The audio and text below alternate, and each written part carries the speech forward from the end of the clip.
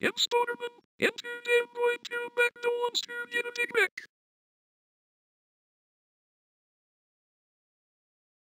Who the fuck are you? I'm Ruby. I work at McDonald's now.